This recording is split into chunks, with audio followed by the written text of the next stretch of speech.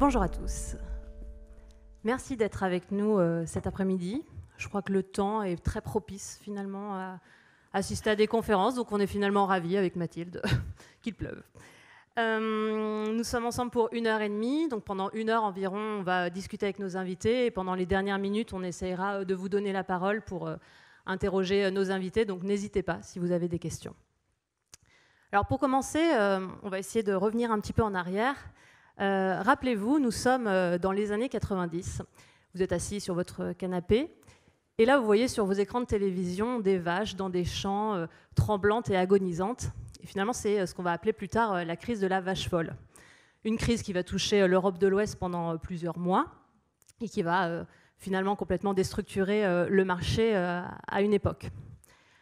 Deuxième étape, on est quelques années plus tard, en 2013 à peu près, et une association commence à faire parler d'elle. C'est euh, maintenant la très connue euh, L214, donc une association de, lutte contre la maltraitance euh, animale. Et donc on découvre dans certains médias, notamment Le Monde.fr, des vidéos chocs qui sont tournées en caméra cachée dans des abattoirs. Et là, on se rend compte que finalement, la viande qu'on achète, celle qu'on a dans nos barquettes ou qu'on va acheter chez nos bouchers, elle n'est pas forcément produite dans les conditions qu'on imagine. Et donc là, on prend finalement conscience des dessous de cette euh, production, qui ne sont pas du tout générales, mais en tout cas, on, en prend conscience. Et un dernier moment, euh, ces dernières semaines, on découvre euh, des vitrines qui sont un peu prises à partie, des vitrines de bouchers, par des militants véganes, qui, eux, finalement, veulent mettre en avant le fait que consommer de la viande, pour eux, c'est mal, et il faudrait diminuer notre consommation de viande.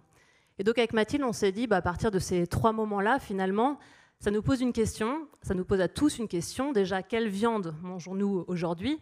Et euh, finalement, face à ces scandales sanitaires, euh, face à la maltraitance animale et aujourd'hui face à, un paramètre qu'on ne peut pas ignorer, c'est-à-dire la pollution de la planète, euh, quelle viande mangerons-nous dans le futur? Alors aujourd'hui, vous n'êtes pas là pour, et nous ne sommes pas là pour débattre sur le fait que est-ce qu'il faut manger ou pas de la viande. Ce débat a déjà eu lieu au Monde Festival il y a deux ans, donc n'hésitez pas, il est toujours en ligne. Euh, la, question, c'est plus de savoir est-ce qu'il y a une voie intermédiaire entre finalement l'élevage industriel, qui peut des fois avoir des dérives, et euh, le véganisme, et donc quelle viande dans le futur nous, pouvons, euh, nous pourrons manger. Et donc on a décidé d'inviter quatre personnes aujourd'hui, et donc je vais laisser la parole à Mathilde pour vous les présenter. Oui, bonjour. Alors pour parler de ce sujet de la viande que nous mangerons demain, nous avons donc quatre personnes aujourd'hui dont nous remercions beaucoup pour leur présence. Euh, à mes côtés, Hugo Desnoyers, vous êtes boucher installé à Paris. Euh, vous, vous êtes un amateur de bonne viande et euh, vous, vous, souciez de la traçabilité du produit, la viande de qualité, la façon dont elle est produite. Vous vous souciez du bien-être animal. vous avez aussi signé tout début septembre un appel lancé par l'association L214 à mettre fin à l'élevage intensif. On y reviendra, vous nous expliquerez cet engagement. À vos côtés également Paul Shapiro. Bonjour, vous êtes américain. Donc Paul Shapiro parlera en anglais. Vous avez euh, des oreillettes pour pouvoir suivre euh, la traduction simultanée. Euh, Paul Shapiro, vous, vous êtes végétarien de très longue date, mais vous vous êtes intéressé ces dernières années à la viande cellulaire. Euh, vous avez longuement enquêté sur ce milieu et vous en avez tiré un livre euh, paru en France au mois de mars qui s'appelle Clean Meat aux éditions Luc Pire. Vous nous expliquerez en quoi cela consiste et euh, si ça peut être une, une piste pour le futur. À vos côtés, euh, Émilie Janin, vous êtes éleveuse de charolaise en Côte d'Or, euh, vous êtes membre de la Confédération paysanne et vous, vous portez euh, à bout de bras un projet d'abattoir mobile sur le modèle de ce qui se fait en Suède. le but, c'est un abattoir qui se promène de ferme en ferme, avec pour objectif de réduire le stress des bêtes et puis surtout de redonner le contrôle aux éleveurs sur cette phase si cruciale qui est la mise à mort. Vous nous expliquerez. Et parmi nous également, Bruno Loriou, bonjour. Vous êtes historien spécialisé dans l'histoire de l'alimentation et vous vous êtes intéressé notamment aux cultures carnivores de l'Antiquité à nos jours. Et avec vous, ben, on reviendra justement sur, euh, sur notre rapport à la viande. Et donc pour commencer, une petite question d'introduction pour que vous connaissiez mieux nos invités. Euh, chacun en, deux mots, quel est votre rapport à la viande et euh, comment la consommez-vous? Vous avez vraiment des profils euh, très différents.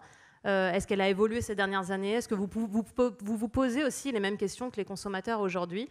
Voilà, juste en quelques mots, chacun, peut-être donner un, micro à Monsieur Loriou. On va devoir un peu se partager les micros. Voilà, on peut commencer à ma gauche, par exemple. Un de vous deux, comme vous voulez. Ladies first. Merci. Euh, alors moi, j'aime euh, la viande, euh, on va dire de façon modérée. Je suis quelqu'un qui en mange pas forcément beaucoup par semaine, mais par contre, quand je la mange, je veux savoir d'où elle vient et, comment elle est élevée. Et puis alors, des morceaux que j'affectionne particulièrement, c'est la hampe, l'onglet. Et du coup, je préfère me priver de manger un autre steak si je peux pas avoir de la hampe ou de l'onglet, quoi. Mm. Monsieur Loriot? Oui, alors vu mon âge, euh, donc j'ai été un carniste euh, impénitent, un viandard, comme on disait à l'époque. Hein. Donc effectivement, je mangeais beaucoup de viande, euh, contestablement, tous les jours, deux fois par jour, etc. Et c'est vrai que petit à petit, les choses se sont un petit peu espacées. ne serait-ce que parce que dans les gens qui m'entourent, il y en a beaucoup qui, effectivement, sont dans une démarche de, transition, disons, vers le végétarisme. Et par conséquent, voilà, il faut s'adapter à la, à la situation et se poser des questions. Enfin, un historien n'est pas quelqu'un qui vit euh, dans sa tour d'ivoire, donc euh, a priori il vit dans le monde qui l'entoure. Et, et, cette question est posée. Effectivement, j'ai diminué ma consommation et je suis un flexitarien. Voilà. Avant de donner la parole euh, à peut-être Paul Shapiro, ou Paul Shapiro, allez-y, oui. Hmm. Well, thank you, and I'm enjoying listening to this, and it's a, it's a fun time to be in a country that I love, so thank you for having me here. And uh, first, I definitely grew up as a big meat eater. I loved eating meat, and I still like the taste of meat, although in recent years, the meat that I have been eating has not come from an animal who was slaughtered, but rather has come from animals who just had cells taken from their body and then that meat was grown outside of the animal with a very tiny sliver of the resources that are needed to raise an entire animal and produce meat. So uh, I've enjoyed eating cultured meat a number of times in recent years. I've enjoyed eating cultured beef, fish, duck, liver, and yes, foie gras, um, a, a food that many Americans have never heard of, but I know needs no introduction here.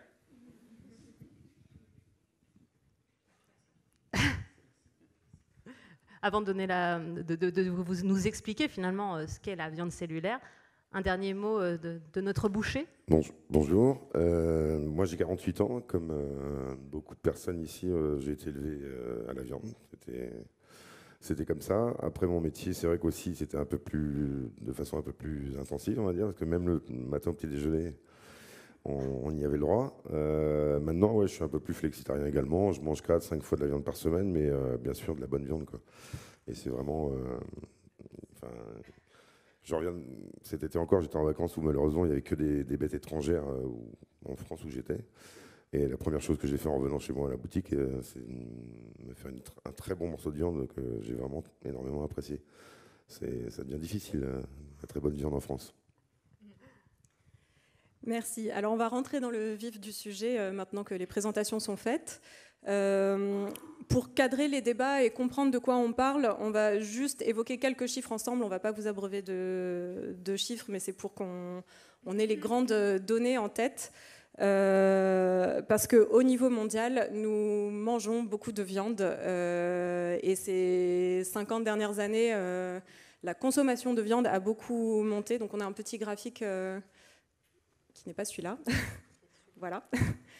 Euh, en 2018, nous avions consommé 330 millions de tonnes de viande par an. Alors c'est un chiffre qui ne parle pas forcément beaucoup, mais surtout ce qu'il faut retenir, c'est que ça augmente chaque année euh, d'environ 2,3% chaque année. Et ça, ce sont les données de la FAO sur les dix dernières années. Et les projections montrent que la consommation de viande va continuer à grimper. D'autant que la population mondiale, elle, euh, devrait atteindre les 9 à 10 milliards d'individus en 2050. Alors si on se penche sur les données françaises. C'est là qu'on... Ah, on repart, d'accord. tac, tac, désolé, vous avez déjà vu tout ça. Voilà. Euh, on voit qu'on a augmenté de, on a quasiment doublé notre consommation de viande en 50 ans. On était à un peu moins de 45 kilos dans les années 50 par personne et par an, et à euh, plus de 90 euh, kilos à la fin du siècle. Alors ces 20 dernières années, ça a un petit peu fléchi, mais du coup tout ça nous amène à, penser, euh, Monsieur Loriou. Il papote. On, est déjà en train d'interpréter le. Donc, quelle était la question que vous me posiez? La question, je ne l'ai pas encore posée. Est-ce que l'humanité a toujours été carnivore? Avons-nous toujours mangé de la viande? Alors, euh, non, sans doute. Ah, ça dépend ce que vous appelez humanité, hein, en fait, à vrai dire. Puis ça dépend un peu de ce que vous appelez viande aussi. C'est un terme. le terme de viande est un terme un peu euh, Alors, piégeux, polysémique, euh, compliqué. Je, je, me permets de ne pas répondre à votre question, mais répondre à une autre que vous ne m'avez pas posée, c'est-à-dire d'où vient, vient le terme viande en fait. Euh, et, nous, nous appelons viande ce qu'autrefois on appelait la chair. Voyez que c'est autrement euh, fort, pesant.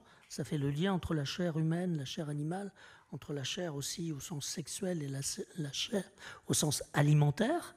Et on a un petit peu, euh, comment dire, euphémisé tout ça. Dans le domaine de la viande et dans l'histoire de la viande, il y a tout un processus d'euphémisation, et on utilise en France ce terme un peu neutre qui signifiait tout simplement nourriture avant, tout ce qui sert à la vie. Bon. Donc, où place-t-on les limites de la viande? Est-ce que, par exemple, on parle de la viande rouge? Est-ce qu'on parle des volailles? Est-ce qu'on parle des insectes? Hein? Donc la première viande, c'est les insectes. Effectivement. Donc si vous prenez les australopithèques, euh, il y a 3-4 millions d'années, on a des témoignages assez clairs sur la consommation des insectes. Cette viande-là, elle n'est jamais qu'une viande, euh, comment dire, d'opportunité, vous voyez, euh, qu'on consomme parce qu'elle est disponible. Le grand tournant, c'est le néolithique, bien entendu, c'est-à-dire c'est le moment où on découvre l'agriculture, où on développe l'élevage. L'essentiel de la viande qu'on consomme aujourd'hui, c'est une viande d'élevage. Donc c'est ça le grand tournant fondamentale. Ça, ça se situe, bon, il y a plusieurs milliers d'années, on va dire. Hein. On ne va pas donner les chiffres parce que ça dépend un peu des endroits. Donc, effectivement, il y a longtemps qu'on consomme de la viande, mais finalement, peut-être pas dans les mêmes quantités. Et on a bien vu là dans le, dans le graphique, on pourrait remonter plus haut. Hein. On pourrait remonter en 1789, mettons, hein. on était à 20 kilos à peu près. Et on arrive aujourd'hui effectivement à 80 kg. Vous avez remarqué que ça diminue dans les années récentes, même si là, vous avez choisi 2018, qui est une année où ça remontait légèrement, très légèrement. Hein. Donc on a tout un processus à partir du 19e siècle qui était un processus d'augmentation de la consommation. Puis aujourd'hui, est-ce qu'on n'est pas à un moment d'un nouveau retournement? Je pense que c'est un peu la question qu'on va, qu'on va se poser, je pense. Avant d'arriver à ce moment de retournement, si on regarde du coup les peut-être 100, euh, 200 dernières années, pourquoi est-ce que la consommation de viande a explosé de cette façon? Alors dans les, dans les pays euh, comme le nôtre, on va prendre l'exemple de la France, hein, parce que vous avez bien dit que c'était un phénomène mondial, et c'est ça la nouveauté euh, récente. Hein. c'est l'extension d'un modèle, qui est le modèle des pays occidentaux, on va dire pour simplifier, hein, européens, occidentaux, américains, etc., ce modèle qui s'impose à l'ensemble du monde. Bon, c'est le vrai problème pour la suite, en fait. Donc chez nous, qu'est-ce qui s'est passé? Ben, Il s'est passé que la viande était une sorte d'aliment qui avait un statut social et même, je dirais, un statut médical, parce qu'on a un peu oublié que les médecins, au début du XXe siècle, disaient qu'il fallait surtout pas manger de légumes. Il fallait manger que de la viande. On a oublié ce temps-là. Hein Vous voyez? Donc euh, la science médicale, mets science entre guillemets, je m'en excuse auprès des médecins s'il y en a parmi nous, mais donc a, connu des, évolutions, on va dire. Et donc tout ça, au fond, confluait euh, dans le fait de consommer de la viande, y compris dans les milieux populaires. Moi, je viens de milieux populaires, donc c'était une sorte de fierté de consommer de la viande. Justement, est-ce que c'est une sorte de marqueur social? Moi, je pense que c'est quand même plus qu'une fierté. C'était, euh, oui, c'est un marqueur social. C'était la réussite sociale, tout à fait. Et euh, l'évolution que l'on voit sur le graphique, euh, c'est aussi l'évolution quelque part de l'économie et de l'argent. Là, on, voit les chiffres de France, mais au niveau mondial, c'est pareil. Moi, ce qui m'inquiète, merci de vos, de vos, détails, en tout cas, qui sont très intéressants. Et comme vous le disiez tout à l'heure, moi, ce qui m'inquiète, oui, c'est les pays en voie d'émergence demain la Chine, euh, l'Inde, euh, ces pays-là, ça, c'est vraiment très très inquiétant. par rapport à ce qu'on entend côté écologique, tout ce que ça engage et ça engrange. Au niveau de l'élevage intensif, bien sûr, pas au niveau des élevages comme madame ou, dans mon domaine de prédilection. Justement, Paul Shapiro, on en parlait tout à l'heure. On voit qu'en France, ça diminue. Aux États-Unis, c'est pas vraiment ça.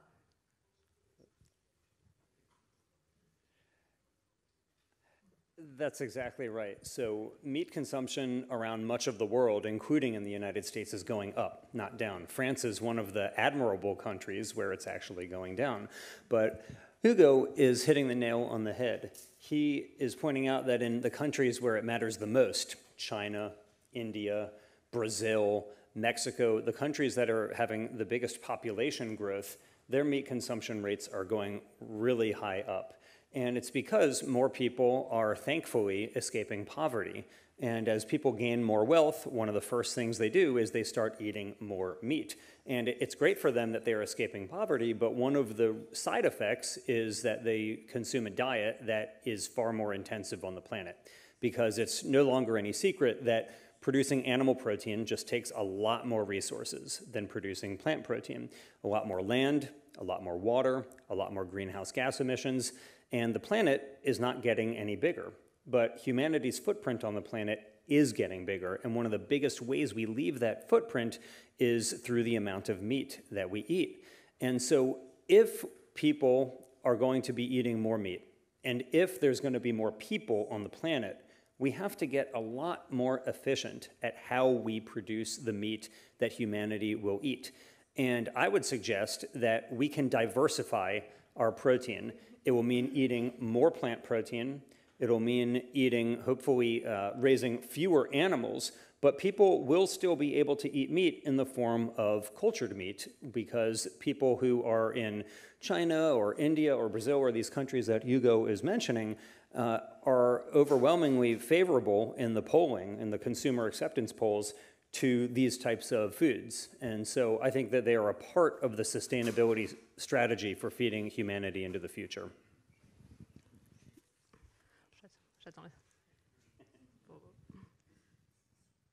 Euh, donc ça, on en parlera effectivement dans une troisième partie euh, pour que vous nous expliquiez ce qui ressort du livre que vous avez du coup écrit, Clean Meat, et euh, finalement que vous nous décriviez ce que vous avez goûté, parce que ça, nous, on, ne l'a pas encore testé en France.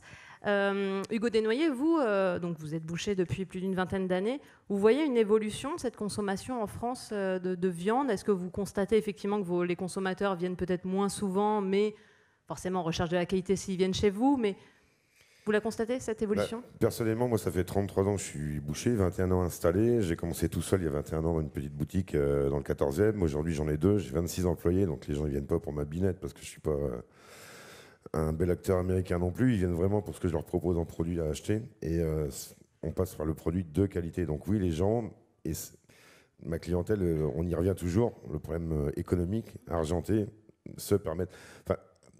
D'un autre côté, moi je préfère, euh, argenté ou pas, je préfère me payer deux fois, trois fois la semaine de la très bonne viande qu'une viande de très mauvaise qualité. Euh, un exemple tout concret, tout bête, vous prenez un steak de 200 grammes chez moi ou dans une bonne maison, vous le faites cuire, vous mangez quelque chose de sain, de bon, vous prenez ça dans une grande surface euh, que vous connaissez tous aussi également, euh, vous allez avoir de la flotte dans, dans votre poêle et bien sûr, à mon avis, pour moi, ça coûte euh, beaucoup plus cher. Ça coûte, deux, ça coûte même deux fois plus cher à mon avis, voire plus encore. Pourquoi? Parce que quand quelqu'un comme notre éleveuse parmi nous ou les éleveurs avec qui je travaille produisons de la viande que j'appelle naturelle, on n'engage pas le, problème des maladies que tout le monde connaît aujourd'hui. Pour moi, tout ce qui est cancer, et on en a tous autour de nous, depuis justement ces années 60-70 euh, où ça, a explosé, et aujourd'hui, bon, plus le, terme exact, moi je pense sincèrement que c'est lié à, cette fameuse alimentation qui n'est pas saine et pas de bonne qualité. Donc ça coûte à la société, en plus. Parce que les hôpitaux qui sont remplis de gens cancéreux, j'espère que je choque pas en parlant comme ça, mais en tout cas, moi c'est l'idée que j'en ai. Après, je ne suis pas un spécialiste non plus, mais en tout cas, l'évolution euh, le prouve également au niveau de la consommation de tout, euh, tout produit confondu du reste. Émilie Janin, un mot sur, sur cette évolution de la consommation? Euh, oui, alors on voit effectivement, enfin je siège aussi à l'interprofession du bétail et de la viande à Interbev, et on voit effectivement que la consommation de viande, elle a, elle a tendance à stagner, voire euh, diminuer, enfin plutôt stagner. Nous, on parle que de viande rouge à Interbev, on ne prend pas en compte euh, la viande de volaille et de porc, qui est viande blanche, et que aussi bien souvent les consommateurs oublient de considérer comme viande. Hein, des fois, ils nous disent, moi, je ne mange pas de viande, en, avalant un jambon beurre. Et parce que viande est connotée viande rouge. Mais euh, oui, on voit que ça se stagne, mais par contre, on voit des choses euh, et des schémas de consommation évoluer. Par exemple, euh, on voit très clairement que la vente en supermarché est clairement en train de perdre beaucoup de terrain au niveau national, en tout cas en France. les boucheries restent à leur place. même... Ça ferme beaucoup. Oui, mais il y en a des jeunes qui s'installent, mais donc au niveau global, ça reste à peu près stable, les chiffres, enfin ce qu'on avait vu au début d'année. Euh, et puis ce qui se développe, ben, c'est beaucoup de consommation hors domicile, c'est-à-dire euh, en restauration commerciale ou euh, collective. Et puis l'autre, quatrième voie, ce qui se développe aussi, c'est la vente directe auprès d'éleveurs ou dans des magasins de producteurs, etc. Et ça, c'était une toute petite niche qui a commencé à naître au moment du crise de la vache folle. Enfin, mon père faisait partie de ces éleveurs qui ont commencé à vendre la vente en direct dans les années 96. Et, ça, ça représente maintenant 10% de la part de marché euh, des viandes bovines en France, quoi. ce qui est quand même considérable. Et ça veut bien dire que les consommateurs, ils ont envie aussi de retourner euh, en direct, voir comment c'est élevé. En France, pour ce qui est de la viande bovine, on a quand même des élevages qui sont plutôt euh, herbagés, à l'herbe, où en général on n'utilise pas d'OGM qui a traversé la planète. Euh, parce, que, parce que les prix de vente de la viande ne permettent pas aux éleveurs d'acheter ces, choses-là, et c'est tant mieux. Mais voilà, on a quand même une production de viande bovine en France qui est quand même de qualité. Et, donc, on a quand même beaucoup de consommateurs qui se retournent vers leurs producteurs pour savoir comment c'est élevé et, voilà, qui recherchent euh, cette viande-là. Je me permets de, par rapport à toutes les personnes présentes parmi nous aujourd'hui, ce qu'il faut comprendre, c'est qu'en France, il n'y a absolument pas d'élevage intensif au niveau euh, du bœuf, notamment, enfin, surtout au niveau du bœuf. Euh, d'un côté, il y a des éleveurs et producteurs qui font un très bon boulot. Vous connaissez, vous, Parisiens, vous connaissez aussi les bonnes adresses parisiennes à ce niveau-là. Et de l'autre côté, malheureusement, comme l'image choc tout à l'heure qu'on en parlait, notamment la crise de la vache folle, il y a les industriels, et notamment un groupe comme euh, bah, un monopole, quasiment euh, Bigard, qui abattent à coup de... Enfin, les chiffres, vous les connaissez mieux que moi, mais moi, c'est c'est affolant, je trouve, qui abattent des, vaches faites euh, pour le lait, euh, les Holstein, tout ce que vous, voyez depuis très longtemps. Et ça, c'est vrai que c'est. Moi, où je suis impressionné, c'est tout le côté marketing et la puissance financière qu'ils ont pour nous, faire à nous la pilule. Euh, quand on voit même les prix pratiqués dans les grandes surfaces, quand on voit le travail de, d'abattage, de transport, de barquettes, de plastique, de tout ce qui est manutention et tout, et qu'on voit le produit in fine dans, la barquette, on peut se poser des questions. Maintenant, euh, pour ce qui est de les gens qui achètent à la ferme, aujourd'hui ça représente 10%. Je voudrais juste, euh, c'est pas un bémol, mais je voudrais faire une petite remarque, c'est que quelque part ça les rassure, les gens, la clientèle qui achète euh, la viande, ça les rassure. Mais de l'autre côté, moi j'ai l'impression, et c'est là que j'aimerais pas qu'on soit des personnes qui pas des menteurs, mais j'ai l'impression que c'est un peu comme le bio. Quoi. On achète du bio parce que ça nous rassure, ça vaut 30% plus cher, et puis on s'aperçoit depuis quelques, quelques mois, un an ou deux, qu'il y a quand même pas mal de dérives également qui sont faites parce qu'il y a des milliards d'euros en jeu. Toujours le même problème. Justement, très bonne introduction à notre deuxième partie. Euh, il y a que moi en fait qui est, qui, en train d'étouffer sur le plateau. on a tout orienté sur, voilà, sur Hugo Desnoyers. Il fallait avoir une petite zone de chaleur. Frigo, ouais.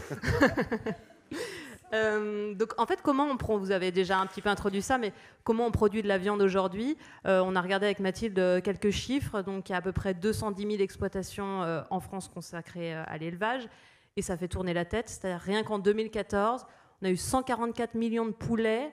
119 millions pardon, de bovins et encore 14 millions de porcs qui ont été élevés pour être donc abattus derrière. justement, Émilie Janin, vous, vous produisez euh, de, la viande. Euh, comment ça se passe concrètement sur votre exploitation? C'est-à-dire que là, on est à Paris. on n'imagine pas forcément exactement comment ça se passe dans une exploitation. Est-ce que vous pouvez en quelques mots nous, nous expliquer? Oui, alors je vais juste reformuler. Je ne produis pas de la viande. C'est très important. J'élève des vaches. C'est vraiment là est la différence, effectivement. Parce qu'à un moment donné, euh, on a arrêté de parler d'élevage, il fallait rationaliser, il fallait développer avec la zootechnologie, enfin la, zootechnie, euh, les productions animales. Et là, on a parlé de production animale.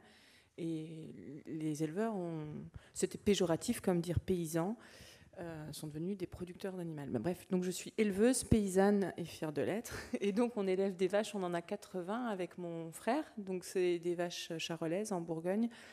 Euh, on dit que c'est des races allaitantes, c'est-à-dire qu'elles vont donner naissance à un veau. Le lait est destiné à faire grandir ce veau.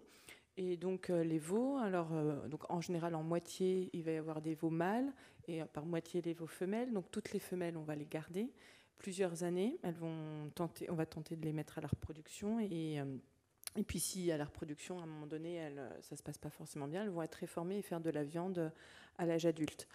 Euh, et les veaux, alors soit on les vend assez, jeunes, au moment du sevrage, on va dire, c'est-à-dire quand ils ont l'âge naturel d'être sevrés, en, en veau sous la mer, soit on les garde un peu plus vieux pour faire des bœufs, et ça c'est assez rare, et même nous on n'en fait pas beaucoup. Euh, parce qu'il faut attendre du coup 4 ans, 5 ans pour faire un vrai bœuf et pendant ce temps-là, euh, c'est un coût parce qu'il produit rien d'autre. Mais on essaye, voilà. Donc voilà un peu comment ça passe. Et donc du coup, on a 200 euh, bovins à peu près sur un peu plus de 200 hectares de prairies avec des surfaces aussi qui sont arborées. Ou, donc c'est un peu de l'agroforesterie. Elles peuvent se mettre à l'abri quand il fait très chaud, quand il fait froid, quand il y a de, la neige, quand il pleut, etc. On peut les rentrer l'hiver quand il fait vraiment pas bon. Mais euh, voilà, elles ont quand même un système euh, où en fait chez nous, donc en Bourgogne, euh, les vaches, elles sont sur des prairies permanentes, c'est-à-dire des zones où on n'intervient pas. On n'intervient pas pour mettre des pesticides, encore moins des produits chimiques ou quoi que ce soit, et on n'intervient pas parce qu'en général c'est très pentu. Et donc ça voudrait dire qu'on pourrait se tuer en faisant un demi-tour en tracteur, enfin un tonneau. Donc et c'est des, des, zones qui sont en prairie naturelle parce qu'on ne peut pas les cultiver pour faire autre chose que du pré. Et les vaches, c'est quand même, enfin en tout cas les herbivores, euh, elles sont quand même, euh, ça de spécifique, c'est qu'elles ont une panse, donc quatre estomacs, et elles ont cette faculté de pouvoir valoriser de l'herbe, des végétaux, de la lignine, et ça, nous, on ne sait pas le faire. Donc euh, voilà, à un moment donné, il y a tout un tas de zones en France aussi qui ont des surfaces avec des ressources fourragères, et on n'a pas trouvé mieux que des herbivores pour valoriser cela. Je tiens à préciser euh, ta parole juste avant, c'est que euh, quand tu exprimes le fait qu'une vache euh, chez toi fait quelques veaux et après part en, viande, on va dire, ben oui, voilà, moi j'interviens en tant que boucher. Hein. moi, toutes les bêtes que je fais, c'est des 4, 5, 6 ans, bien sûr. Elles ont fait au moins 1, 2, voire 3 veaux. C'est vraiment les meilleurs, comme tu le dis, au niveau, même après, au niveau de l'engraissage et tout ça, du persillé. Je ne sais pas si tu en fais de l'engraissage ou elles sont qu'au fourrage. Non, non, on engraisse un petit peu avec des fourrages.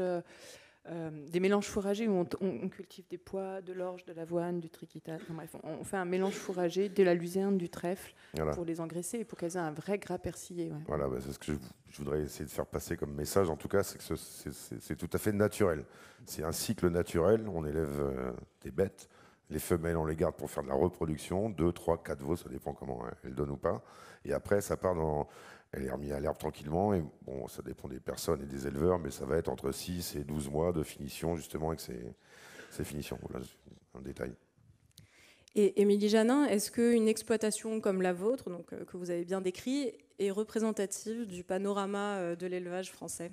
Alors oui, pour, les pour la viande bovine, enfin je dis oui, euh, oui, oui, on est assez nombreux à être comme ça. C'est-à-dire qu'en France, on, comme l'a dit tout à l'heure Hugo Desnoyers, on n'a pas d'élevage intensif de bovins allaitant vraiment à la marge. Il y a peut-être une ou deux exceptions, mais euh, voilà. En bovin, en France, c'est quand même majoritairement des systèmes basés sur l'herbe. Euh, la moyenne du nombre de vaches par ferme est de 60 vaches.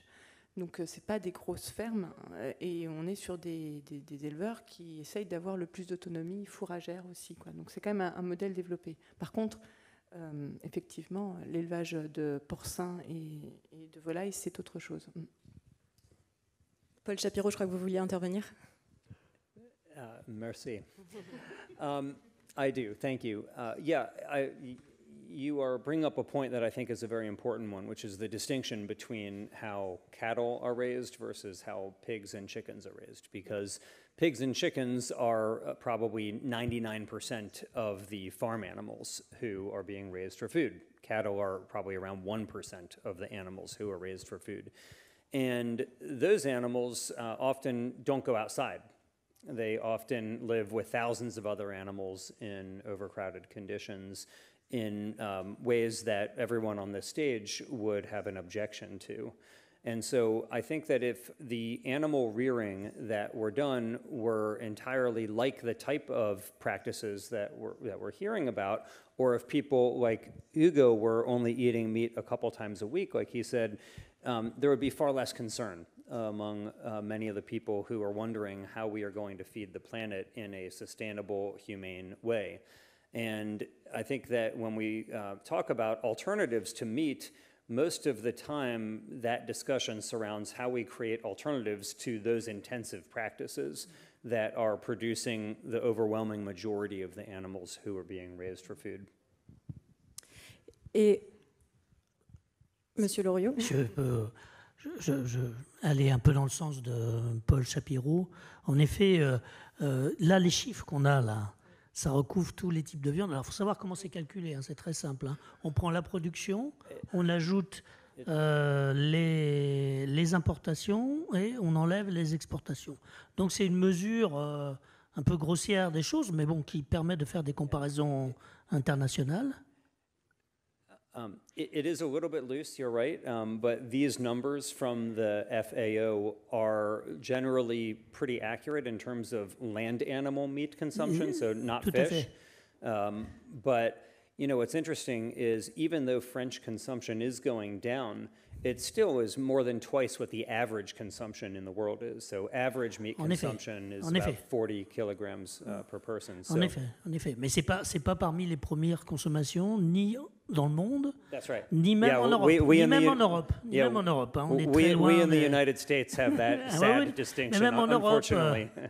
En. Europe, euh, l'Espagne, etc. Le Luxembourg hein, Yeah, est un yeah. gros voilà. Luxembourg is still number one in Ouais, meat still number one, But voilà. Spa- in Spain, yeah, in, in Spain they are uh, C'est du porc plutôt. 90 Ouais, c'est du porc. C'est du porc plutôt. Oui, derrière, il y a des viandes différentes. On parle de la viande, mais là, finalement, on a parlé beaucoup de la, de la viande bovine. euh, qui, qui est un peu symbolisée, mais effectivement, je suis assez d'accord. Là où il y a vraiment une, une production intensive, bah, c'est par exemple dans la volaille. Et la volaille, il faut voir que dans, euh, la, dans la, consommation de viande, enfin, c'est pas véritablement la consommation, c'est ce qui est disponible en fait. hein. Euh, et donc, dans cette disponibilité de viande, eh euh, c'est maintenant la volaille qui n'est pas complètement en tête, mais qui a explosé. Le porc est resté très stable. Et par contre, la viande bovine a diminué, non pas en volume, mais elle a diminué en proportion. Donc, l'augmentation qu'on a connue à partir des années 70 s'est fait au profit de la volaille. Euh, voilà, donc euh, la chanson de, Jean Ferrat sur la montagne qui stigmatise les poulets aux hormones, malheureusement, elle est toujours un peu d'actualité, même si ce ne sont plus des poulets aux hormones. Voilà. Émilie Janin Oui, c'est vrai que euh, je rebondis à ce que, vous venez de dire, parce que hum, ça coïncide vraiment euh, très fortement avec euh, bah, la politique agricole commune. Là, je reprends ma casquette de militante confédération paysanne, parce que ça coïncide avec la politique agricole commune, dont le plus gros bénéficiaire en France a été le groupe Doux, qui était un poulailler, vous avez sans entendu parler, avec ses faillites successives et l'État qui est venu à son secours, etc.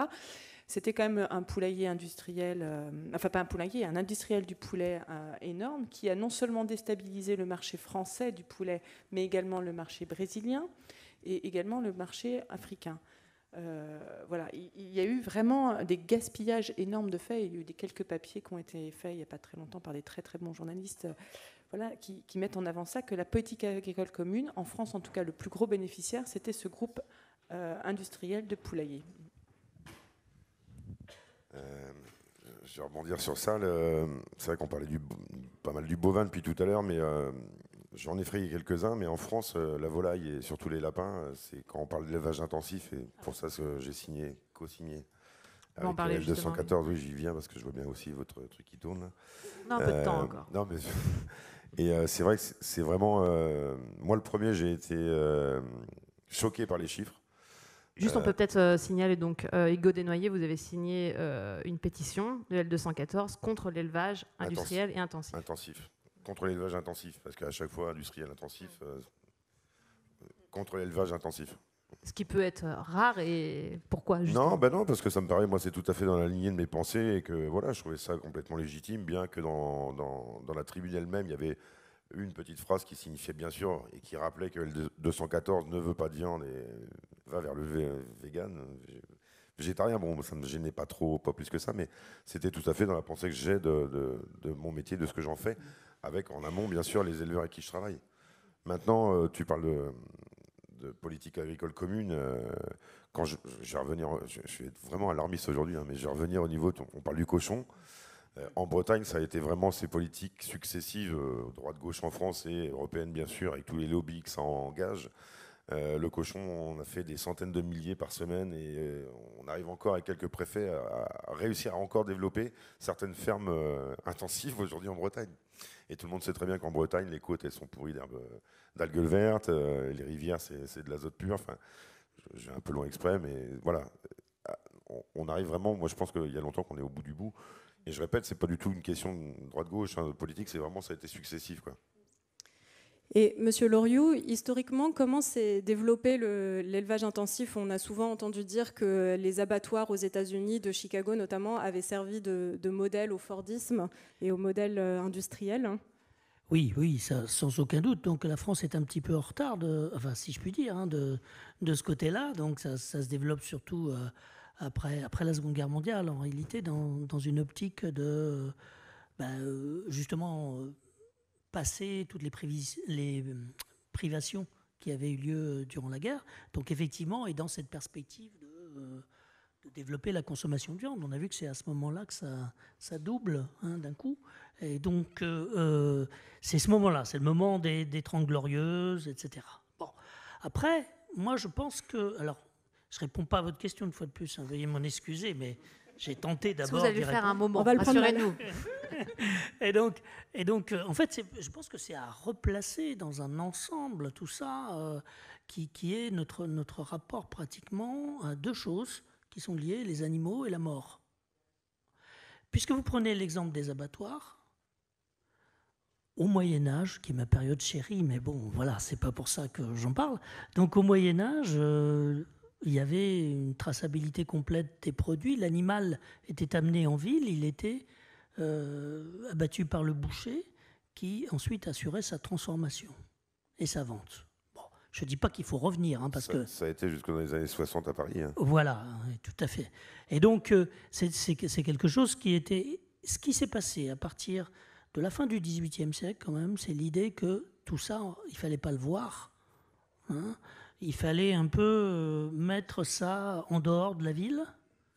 C'est d'ailleurs au même moment qu'on a euh, aussi fait sortir les cimetières de la ville, alors qu'avant ils étaient intégrés euh, dans la ville. Hein. Donc c'est à, partir de ce moment-là, à mon avis, qu'on a aussi ce, ce, mouvement qui va, ça c'est ce que disent les anthropologues, vers ce qu'on appelle la sarcophagie par rapport à la zoophagie. Le zoophage est celui qui aime retrouver l'animal dans la viande. Donc il va aimer par exemple les abats, la tête de veau, bon, bien. Et puis le, sarcophage, c'est celui qui aime plutôt la, viande qui s'éloigne de l'animal. Donc y compris la viande blanche par exemple, qui voilà, transformée en nuggets ou autre, n'a plus cette apparence-là. Donc tout ça, à mon avis, vous voyez, on ne peut pas dire d'un coup, il y a des gens qui vont... C'est vrai, ça a joué ils vont vouloir faire du profit, ils vont, c'est sûr. Hein. La demande mondiale a joué aussi, ça c'est sûr, et la demande des pays en émergence aussi. Mais euh, cet élément-là, c'est-à-dire ce rapport à l'animal, cette difficulté finalement à le voir mourir et vivre aussi, parce que c'est lié, eh ben, à mon avis, c'est ça le mouvement de fond. Bon, après, c'est une hypothèse. Hein. Le mouvement de fond, vous parlez par rapport à, nous, occidentaux français C'est ça, c'est ça, par nous, occidentaux, oui, en général, oui. Quand on parle, moi c'est vrai qu'à chaque fois je, me, je, suis confronté à des, personnes véganes qui sont un petit peu extrémistes et qui sont un peu violentes, parce que ça m'est aussi arrivé dans les boutiques. Bon, le discours, est, enfin le dialogue est impossible, mais euh, quand vous dites qu'on cache de plus en plus euh, cette mort, finalement, c'est vrai. Mais le, moi je suis de la campagne et euh, mes grands-parents, on avait des bêtes qui nous chauffaient, qui nous donnaient du lait. Et de temps en temps, on en a battu un ou deux pour justement manger. Donc là, pour moi, l'animal, c'est ce que je veux faire passer comme message, c'est que c'est vraiment culturel. Moi, j'ai grandi dans cette culture française de campagne qui fait que l'animal nous a toujours accompagnés. Et Dieu sait que je suis pas 200 ans en arrière, j'en ai que 48. Mais on est malheureusement dans une société, enfin malheureusement, on est dans une société urbaine. Eh Donc voilà. Alors justement, on en vient à parler euh, de l'abattage et notamment du projet que, que vous portez, Émilie Janin, d'abattoir mobile. Euh, vous vous êtes inspiré notamment de ce qui se fait en Suède, où euh, il y a des camions d'abattage mobile qui vont de ferme en ferme. D'ailleurs, il y a quelques années, nous avions filmé comment cela se passait, si la régie peut peut-être envoyer les images. De la première vidéo. Voilà, merci. Euh, Émilie Janin, est-ce que vous pouvez nous expliquer du coup en quoi ça consiste euh, ces, ces, caissons d'abattage ou ces camions d'abattage et pourquoi est-ce que vous, vous, défendez ce projet? Vous en avez fait vraiment votre, cheval de bataille? Euh, alors, je suis venue à, se parler de l'abattoir et à aller voir cet abattoir mobile parce que quand on fait de la viande, enfin quand on élève des animaux pour faire de la bonne viande, on fait attention à plein de choses, notamment comment nos animaux vont, être élevés, donc pour leur éviter le maximum de stress, pour qu'ils soient en pleine santé, il faut qu'ils soient bien, bien choyés, etc. Euh, on fait attention à leur alimentation, on fait attention à. C'est important ce qu'on vient de voir, excuse-moi, je te coupe, hein. c'est important ce que vous venez de voir. Euh. L'assommage. Voilà. On va leur voir une deuxième fois et après on s'arrêtera parce que ça peut. Je dis que c'est important. On va l'avoir en boucle. Et donc oui, voilà, on fait attention vraiment à comment, à comment les animaux sont élevés, comment ils sont nourris, etc. Mais la période de stress post-abattage, enfin pré-abattage est, très très importante. Et, du coup, euh, ça, peut, euh, ça peut vraiment mettre en péril tout le travail qu'on aura fait pendant des années. Et l'autre aspect, c'est qu'il y a aussi sur le terrain, moi par exemple, je travaille avec l'abattoir d'Autun qui a 50 minutes de voiture de chez moi avec le van et, les vaches derrière. Euh, il est en difficulté, très grande difficulté. Il y a un autre abattoir à côté à Beaune, il est en grande difficulté. Enfin, on peut en citer. J'ai des éleveurs qui m'appellent toutes les semaines. En fait, il y a, il y avait 263 abattoirs, je crois, encore l'année dernière. Il y en avait plus que 250 au début du salon de l'agriculture au mois de février. Depuis, il y en a encore 4 confirmés. Enfin voilà, il y a une hécatombe au niveau des abattoirs qui fait que nous, si on n'a plus accès aux abattoirs, on ne peut plus non plus faire notre métier d'éleveur. Parce que euh, ça fait partie complètement de notre métier d'éleveur que de savoir que nos animaux vont être bien traités jusqu'à la fin. On ne peut pas bien s'en occuper pendant des années et après euh, laisser euh, à n'importe qui faire cette, cet acte d'abattage. Donc un jour, j'ai été amenée à aller en Suède à voir cet abattoir mobile qui était assez révolutionnaire parce qu'on a mis dans des camions, donc on a rendu mobile un abattoir tout à fait aux normes européennes. Euh, ça tombe bien, on a les mêmes en France. Et, euh, donc, du coup, à, se dire, ben, en fait, on va amener euh, cet outil aux normes européennes dans la ferme, là où sont élevés les animaux, et on enlève cette période de stress. On ramène beaucoup plus de, traçabilité pour les éleveurs, pour tout un tas de choses. il y a plus de rapports entre les vétérinaires, les abatteurs, les éleveurs. Enfin, pour tout un tas d'aspects, c'est vraiment euh, révolutionnaire et, bienveillant. Voilà. Mais après, c'est quand même un projet qui est excessivement mal vu en France, même si la loi agriculture et alimentation a prévu une expérimentation d'abattoir mobile. Il est clair qu'en France, euh, depuis euh, ces années où on a dit tout à l'heure qu'il y avait une une euh, rationalisation des outils d'abattoir en France, où on les a concentrés dans quelques mains depuis euh, l'après-guerre. Euh, à un moment donné, c'était aussi un service public, l'abattage. C'est-à-dire qu'il y avait des abattoirs dans chaque petite commune. Et puis très vite, c'est plus devenu un, service public. Et là, du coup, sous le coup des normes et du fait que c'était plus un service public, ça s'est privatisé énormément. Et ce qui fait qu'aujourd'hui, sur les deux, à peine 250 abattoirs de France, 83% des abattages sont réalisés par quatre grands groupes industriels, dont un qui est énorme, qui s'appelle Bigard, donc euh, Charal, Sacopa, etc. Il a différents groupes.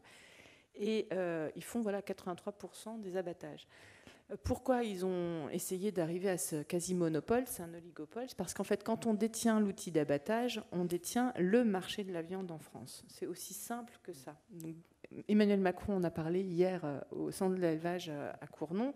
C'était très bien de sa part, mais euh, et, on attend concrètement des aides pour, comme m'a dit le président Macron, redévelopper des abattoirs de proximité sur le terrain, aider le développement d'abattoirs mobiles, etc. Parce que si on n'a plus d'outils d'abattage, on n'a plus d'élevage. C'est aussi simple que ça. Et quand vous dites que c'est compliqué et pas forcément très bien vu, c'est que vous avez éventuellement des pressions ah oui, oui des menaces de mort, des des pressions diverses et variées pour que, euh, bah voilà, pour que auprès des banques, pour qu'ils ne suivent pas, auprès de gens qui pourraient nous donner des subventions, pour qu'ils ne subventionnent pas, auprès de, enfin, les, les, les, pratiques de ces lobbyistes qui sont très nombreux Parce que quand on s'appelle Bigard et qu'on fait 100 millions de bénéfices en 2017, on a de quoi payer des gens à faire du lobbying. 100 euh, millions, c'est ridicule par rapport au chiffre d'affaires. Hein. Oui, oui, oui, ça c'est quand il a. C'est le enfin. Ça c'est quand il a. C'est ce qu'il n'a pas pu défiscaliser, qu'il n'a pas remis en investissement, etc. C'est vraiment. Euh, imaginez quoi. Et, donc voilà, donc effectivement, il y a beaucoup de pressions qui sont mises en place parce que c'est vraiment euh, l'enjeu de l'accès au marché de la viande qui est important. Ça fait 40 ans qu'il répète partout qu'on ne peut pas gagner de l'argent avec de la viande. C'est entièrement faux. Lui, il était fils de Maquignon. Il est devenu, en quelques années, il est devenu 143e fortune de France dans un domaine où il n'arrête pas de crier sur tous les toits qu'on ne gagne pas d'argent. Donc, euh, il se moque vraiment du monde. Et, non, seulement il gagne beaucoup d'argent, mais en plus, il saccage le travail des éleveurs. Et, quelque part, il abîme aussi le travail futur des bouchers. Des Bien sûr, c'est même pas ça, il en a rien à foutre avec mes mots à moi. En gros, c'est ça. Et c'est surtout que c'est lui qui décide du prix du marché en France. Donc c'est ça qui est très important à comprendre. Euh, je suis de la Mayenne, on a Emmanuel Beignet, euh, le groupe Lactalis que vous connaissez tous au niveau du lait. Et pareil, il a mis la main basse une grosse, grosse, grosse partie de l'Europe sur euh, le lait, et c'est lui qui décide du prix. Je ne sais pas combien on paye tes bêtes. Moi, sache que ça fait à peu près 21 ans, avec les cours qui fluctuent bien sûr, mais en moyenne, je suis entre 7,40 et 8,40 8 prix carcasse à mes éleveurs. Tu représentes, voilà, devant tout le monde, tu sais ce que ça veut dire. Ça veut dire qu'avec ça, tu peux te payer ce que, enfin, vivre plus que décemment de ton travail. Oui, non, c'est très bien. Mais après, au niveau français, alors, euh, au niveau français, par exemple, l'année dernière, quand on a travaillé à la suite des états généraux de l'alimentation à l'interprofession du bétail et de la viande, Interbev, on a, on a demandé à l'Institut de l'élevage de travailler sur le coût de production au kilo de carcasse. Ils nous ont sorti un chiffre après des mois et des mois de travail, statistiques, etc., à partir des comptabilités, etc. Et on arrivait à un prix de 4,82 euros le kilo de carcasse pour une vache euh, moyenne, euh, voilà, classification moyenne, etc. Ça veut dire que quand elle est payée en dessous des 4,82 euros, on perd de l'argent.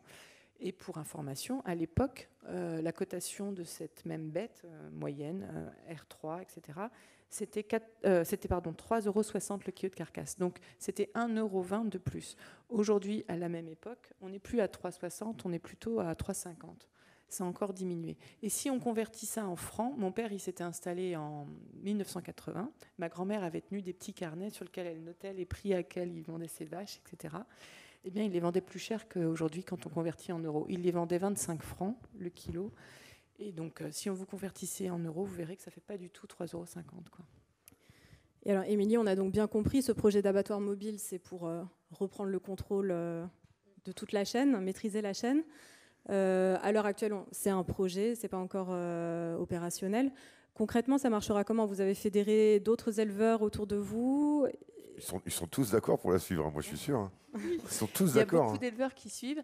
Euh, il y a beaucoup de consommateurs qui ont hâte aussi. Euh, voilà. Donc euh, concrètement, ça se passera où donc il faudra effectivement, enfin je vais essayer d'être le plus concret pour vous, il faudra ne pas fonctionner comme on avait l'habitude actuellement avec des abattoirs fixes, c'est-à-dire qu'il faudra tout anticiper de plusieurs mois pour prévoir les tournées de l'abattoir de ferme en ferme, savoir avant, euh, donc euh, faire un planning en fait, hein, savoir avant quand on va aller dans telle ferme, combien d'animaux il aura pu préparer, combien d'animaux seront à tuer, etc. Donc il faudra tout anticiper dans le travail pour organiser le travail et avec les éleveurs et avec les services vétérinaires qui vont réaliser des inspections vétérinaires comme dans un abattoir classique, c'est-à-dire une inspection avant la mise à mort et une inspection après la mise à mort. Et puis, puis voilà quoi en fait. Et après, l'idée, ça va être effectivement de valoriser sous une marque qui s'appelle le bœuf éthique, euh, et, de pouvoir la, vendre à, des gens qui sont en recherche euh, d'une viande qui est correctement élevée et correctement abattue. On va peut-être donner la parole maintenant à Paul Shapiro sur une autre façon finalement de produire de la viande. Euh, parce que des startups de la Silicon Valley, d'Europe, d'Israël tentent et ont réussi à partir de cellules souches à produire de la viande, donc en laboratoire, la fameuse clean meat. Euh, Paul Shapiro, pourquoi vous vous êtes intéressé, vous, à ce procédé Et concrètement, comment ça fonctionne? On peut peut-être lancer la, deuxième vidéo où on voit en gros euh, euh, voilà, comment ça se passe. Okay, so uh, Europe has been the leader in producing cultured meat. In fact, it was Dr. Mark Post in the Netherlands who produced the world's first ever cultured burger, which was served up in 2013 in London to much fanfare. Uh, that burger cost 330,000 US dollars to make, the most expensive burger in all of world history. Uh, however, today, those burgers are a sliver of the cost. Just six years later, um, companies are now producing cultured chicken nuggets from cells from chickens who are still walking around and still enjoying life um, for only about $50 per nugget. So it's been a dramatic price drop on these, and you can see going into the future uh, that it will continue to get cheaper as well. And so uh, I became interested in this out of a concern for many reasons. One, I was very concerned about the welfare of animals who are being raised for food, many of whom are treated in ways that are particularly poor and that are very uncomfortable even to watch, let alone to want to support. Two, there's a lot of food safety concerns about the production of meat because right now, when you take raw meat, you often are warned to treat it almost like it's a, a, hazardous material. If it touches your hands, you have to wash your hands. If it touches your counter, you have to disinfect your counter. And the reason is because there are intestinal pathogens that are on that meat.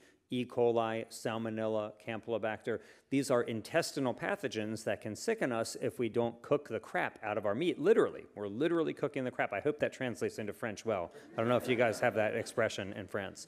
But with uh, the reason it's called clean meat is because you don't have to worry so much about intestinal pathogens when you're not growing intestines at all, when you're just growing the muscle and the fat that people really want to eat.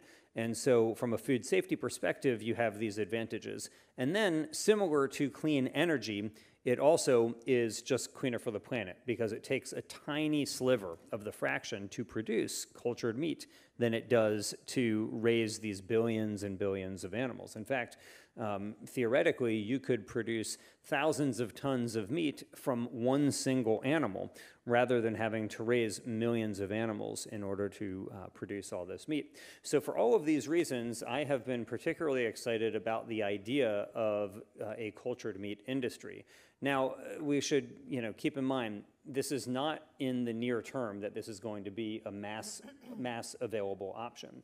Um, you know, right now, the amount of cultured meat that has ever been sold on Earth is 0.0 grams, literally nothing.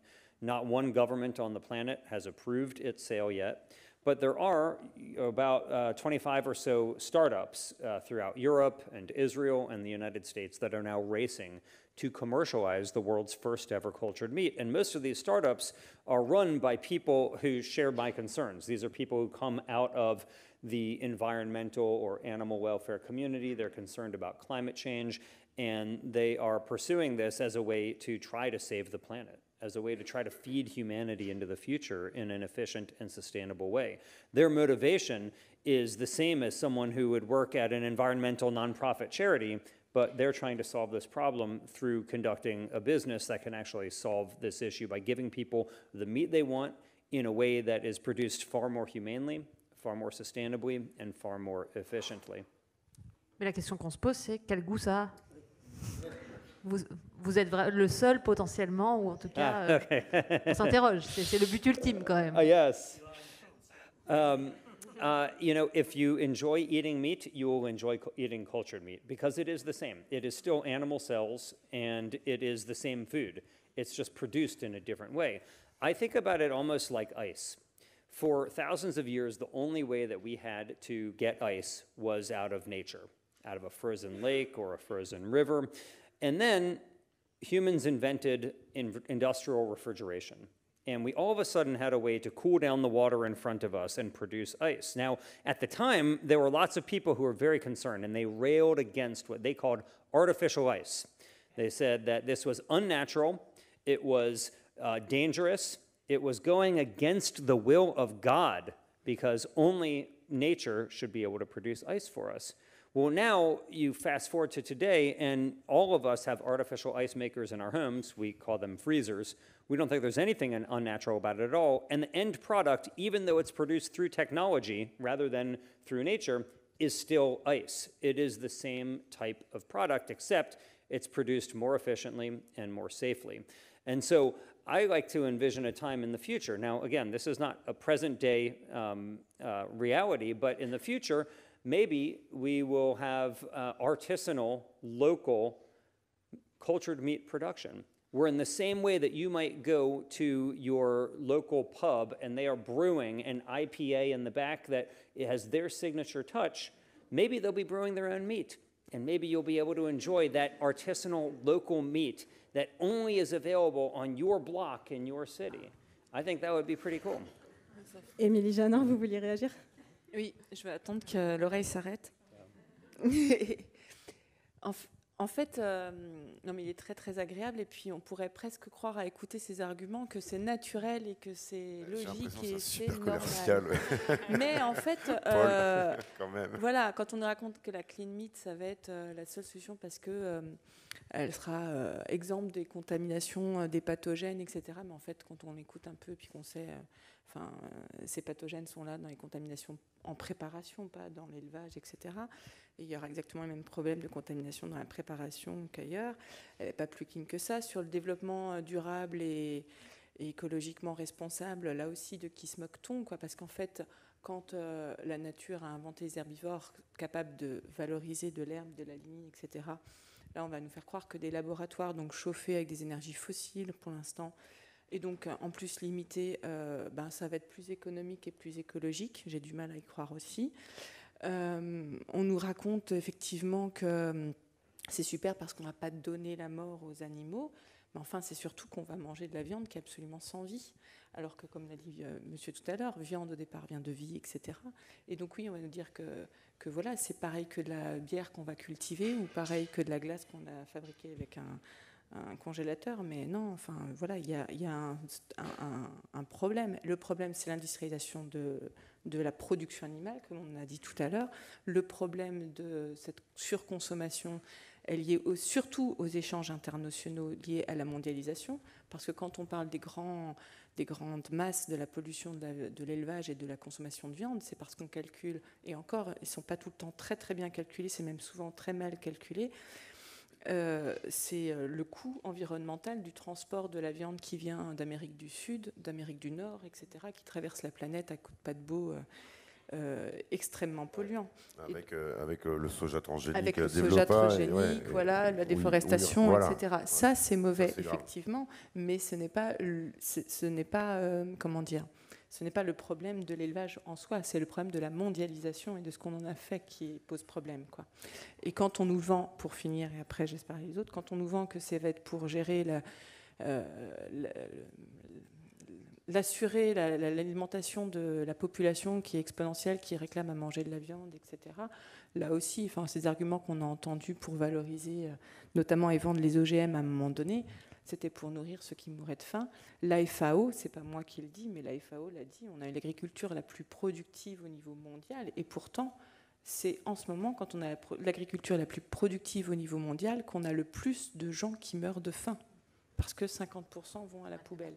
Donc moi, je ne crois pas une seconde que les gens qui sont derrière ces start-up, qui les financent, et qui financent également L214 et toutes ces associations hein, qui prônent le vegan, ce sont des, gens, euh, ben c'est des mecs. C'est les mêmes investisseurs qui financent ça et qui financent les L214, c'est vrai. Voilà, et c'est effectivement euh, des gens qui, les patrons de, Amazon, euh, les patrons de Google, les patrons de GAFAM, etc. C'est des milliards, des milliards qui sont en jeu.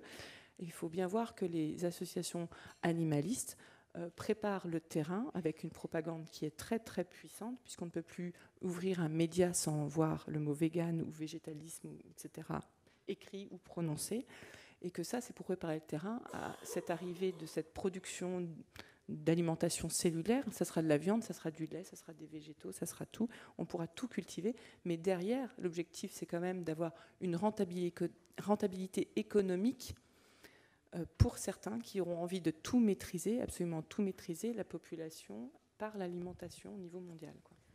Comme, comme Monsanto au niveau de la, de la culture. On va laisser Paul répondre sur ce point, notamment sur euh, une des principales critiques qui est faite à, l'agriculture cellulaire, le fait que ce soit une technologie contrôlée par quelques multinationales euh, dans le monde, en fait.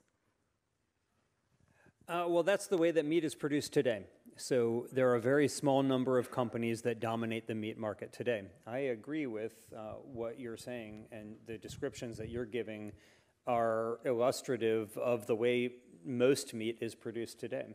Um, and cultured meat is not intended as a competitor to your local butcher or to somebody who is raising a, a herd of 60 cows on grass who are living six years before they're slaughtered. Cultured meat is a response to the most, the majority of meat that is being produced by a small number of companies um, that dominate the market with practices that most people don't want to talk about, let alone do they want to witness them. And so when I think about how we are going to actually feed the world, uh, when we think about, again, going back to the fact that Chinese, Indians, Brazilians are eating more and more meat, I don't think it's realistic to expect that we are going to feed them with 19th century uh, practices. It's more likely we're going to feed them with 21st century practices. And that's not a knock at all on the types of foods that many people want to eat who can afford to pay those extra prices that Hugo was mentioning. But in the places in the world where they either currently experience hunger or where they have recently experienced hunger just a generation ago, they don't have these types of concerns. They're happy to eat food that is being produced in a safe manner that's nutritious for them. And so I think that's one of the reasons why places like China and India have so much higher acceptance of uh, technologies like cultured meat uh, compared to wealthier nations where um, there might be some, uh, some more questions about it. But I'm very much in favor of the uh, type of agriculture that uh, we've been talking about today. I, I, think that we can have, though, uh, a supplemental market where cultured meat, plant-based meat as well, and other types of proteins that are far more sustainable than the current methods of production are going to enable us to feed ourselves without destroying the planet in the process. Bruno C'est une troisième fois en fait, une troisième voie. Entre l'élevage industriel et Uh, la vraie troisième voie, ça peut pas être la. Excusez-moi, mais la vraie troisième voie, ça peut pas être euh, la voie que le capitalisme est en train de nous vendre. C'est ce que enfin, propose Paul Shapiro. Bah, si c'est ça. Yeah. I, so, um, I mean, all the food that we eat today is produced through capitalism. So, I, I'm, that I think might be a different debate. But I do think that, um, you know, the reality is that. I'm sorry? No. On fera ce débat l'an prochain, peut-être. On vous réinvite. Yes, yes. All right, we'll do it again. I would love that. Um, but yeah, I, I do think that it is a third way. And in the same way that the problem of fossil fuels is so bad, that you want lots of alternatives. You want wind energy, solar energy, geothermal energy. Um, uh, yeah, France is a big leader in nuclear energy as well, to whoever put that out there, thank you. Um, but this problem with the factory farming of animals, not the type of agriculture we're talking about here, but the factory farming of animals, which represents most meat production, is so bad that you want lots of alternatives. You don't just want uh, small scale agriculture, you also want to have uh, plant based protein, you want to have cultured meat, you want to have people who are doing flexitarianism, like eating meat a couple times a week, uh, you want people who are going to be vegetarians or vegans. There's all different types of responses we can have to it, and I think we should have that type of an all of, all of the above approach in order to uh, sustainably feed ourselves. Bruno Loriot, oui, vous... Juste un tout petit mot à propos de ce que vous avez dit tout à l'heure en disant bah, finalement ce qu'il faut c'est produire euh, localement ces, viandes euh, cellulaires, on va appeler ça comme ça. Euh, moi j'observe que pour l'instant ce, qui est proposé c'est un peu le modèle américain. Hein. On voit des burgers, on voit des nuggets, c'est-à-dire que c'est un peu, comment dire, c'est un peu la junk food, hein? Donc euh, sans doute, euh, sans ah. doute, sans doute euh, correct du point de vue. Je discute pas les arguments sur l'environnement, etc. C'est peut-être il faut il faut les discuter, mais c'est pas c'est pas mon objet. Et, et, et moi je trouve ça dommage qu'au fond cette, cette, ce modèle alimentaire qui s'est étendu à l'ensemble du monde et qui nous a quand même, qui est un des facteurs qui a conduit à à l'intensification, etc., ressurgissent dans le nouveau, yeah, totally dans le nouveau modèle que vous voulez défendre. Voilà. I, I euh, totally agree, and I think that, uh, to be frank, that America has a, a, a, lot to explain on this issue, having exported this model of uh, intensive industrialized You are not agriculture. responsible. of. There's lots of things I would like not to be responsible for my country right now. Um, but uh, so I, I totally agree with you, but I, I do think the technology will get there. So right now, the cultured meat companies are producing sausages and meatballs. I'm not so sure that means they're junk food, but it does mean you know they're not uh, whole cuts of meat.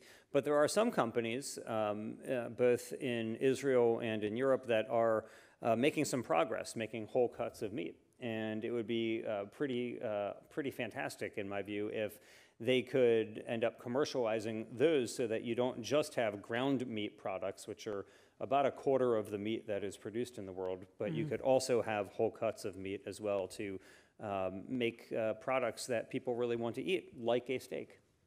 Et il y a des startups en France notamment qui travaillent sur euh, le foie gras à partir de, de cellules souches. Hugo Desnoyers, vous vouliez réagir? Bah, bon, vu la question du jour, quelle viande pour demain? C'est une alternative, certes. De toute façon, on va pas y échapper puisque les Américains se sont mis dessus. Et puis, euh, avec un Paul Shapiro en commerçant, en commercial, on est mal, on est mal barré. C'est de l'humour, hein, Paul. Euh, moi, ce que je veux faire comprendre, ce que je veux faire comprendre quand même, ce qui me paraît important et intéressant, c'est que euh, moi, j'ai parlé de tradition, j'ai parlé de culture, et euh, la viande, comme on le fait, ma très chère éleveuse à côté de moi et mes éleveurs avec qui je travaille, il faut pas oublier que ça s'appelle l'or rouge.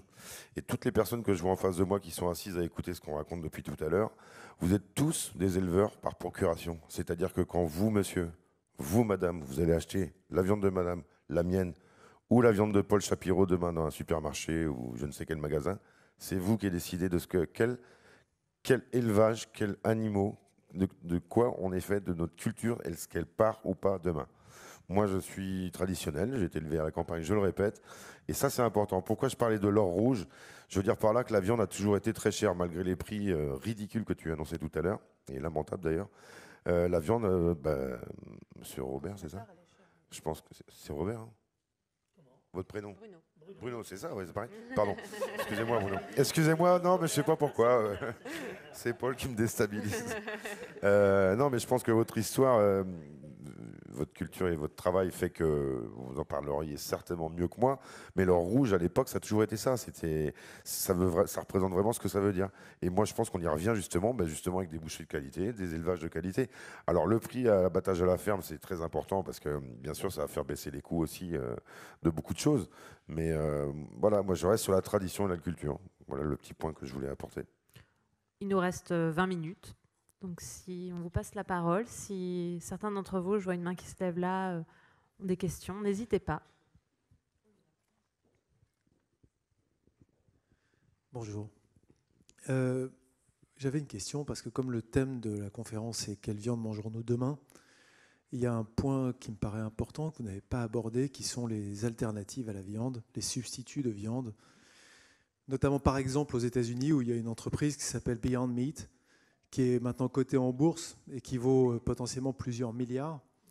Euh, que ce soit de la viande ou pas de la viande, ça c'est un sujet en soi.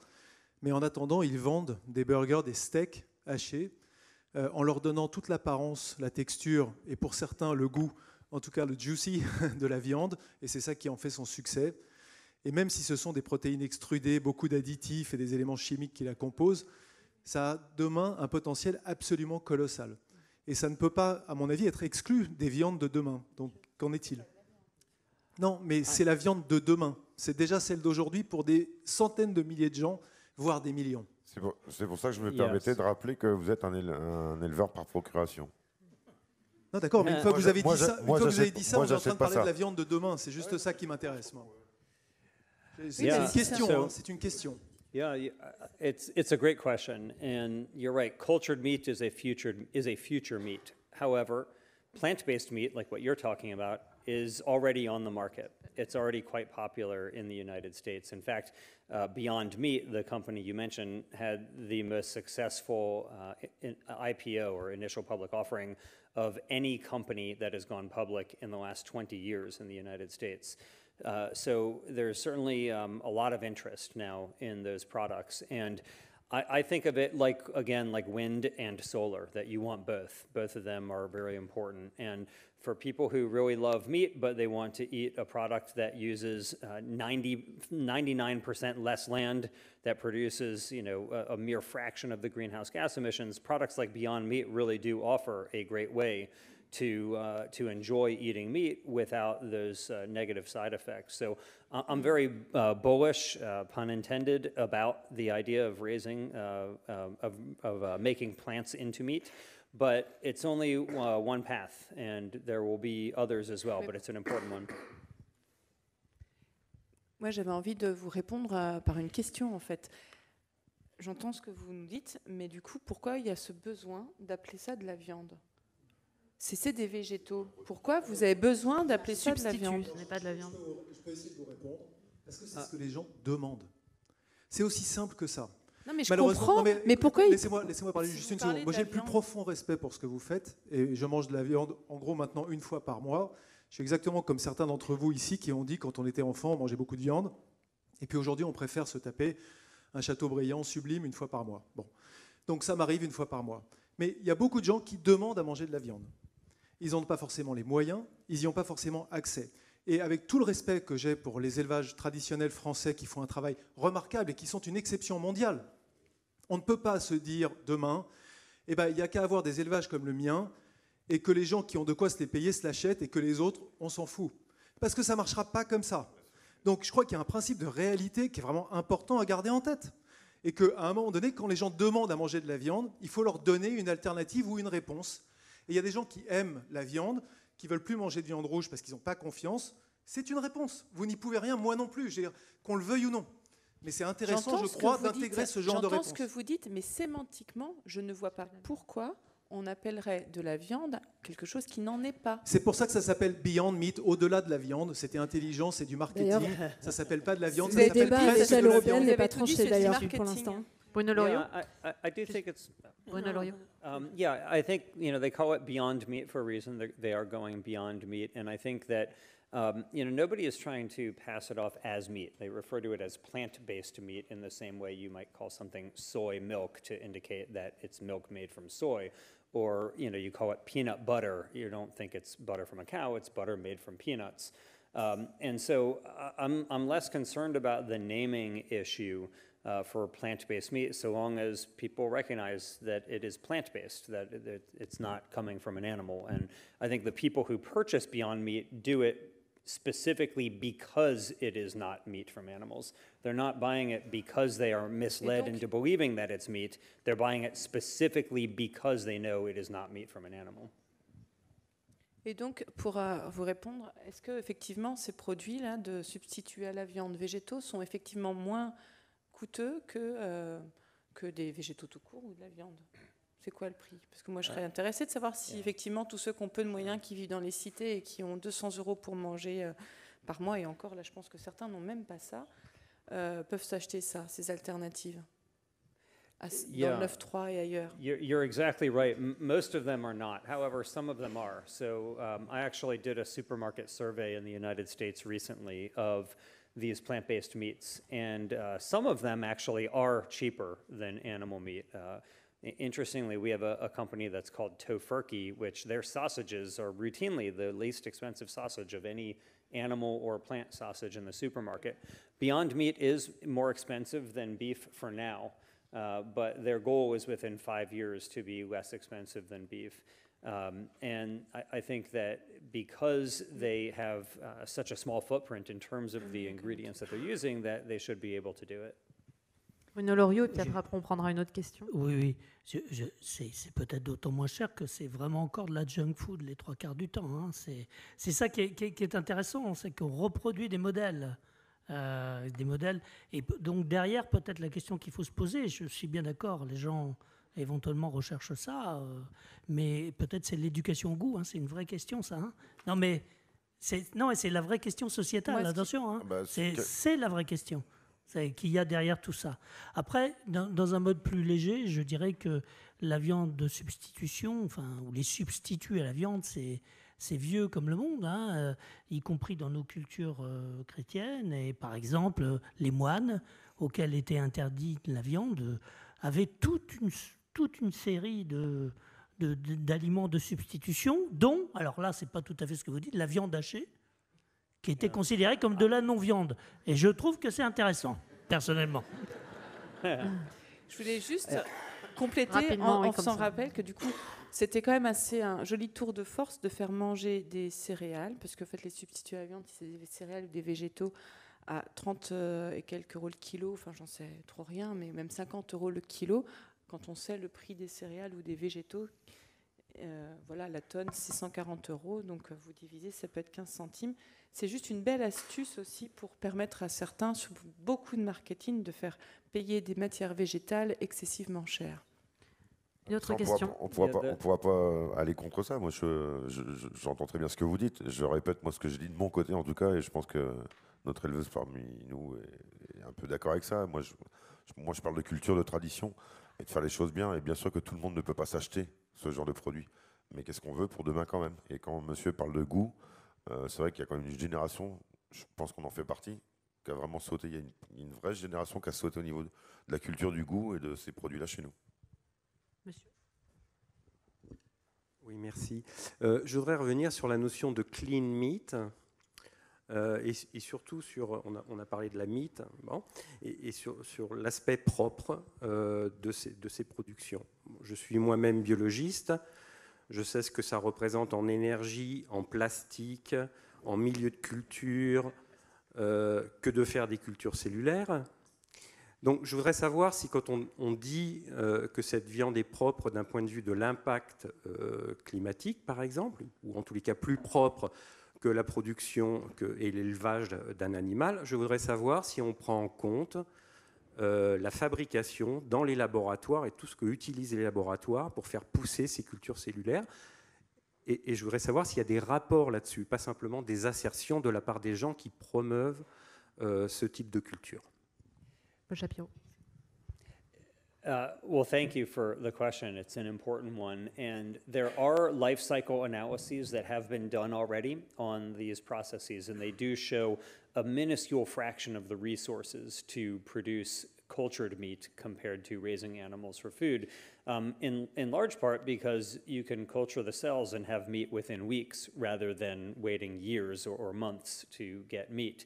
Uh, however, uh, we have to be real about it that the processes to produce cultured meat today are still evolving and they're only going to keep changing. And so I think that we might want to wait until there is commercialization of this industry to see actually what the footprint will be because the you know there will be changes in how it's produced. However, I do think that the processes will only get more efficient so right now, uh, it generally shows about 99% less land, 80% uh, less water, 45% the energy.